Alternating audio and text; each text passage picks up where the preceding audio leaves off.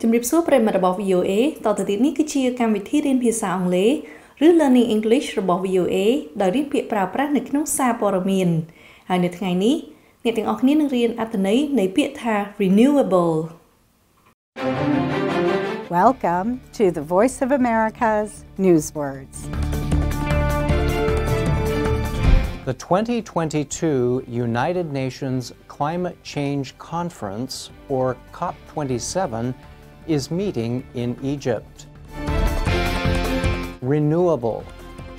UN Secretary General Antonio Guterres called on richer polluting nations to come to the aid of poorer countries dealing with the effects of heat trapping gases.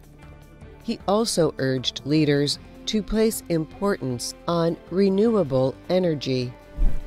In this example, renewable energy produces electricity from natural processes.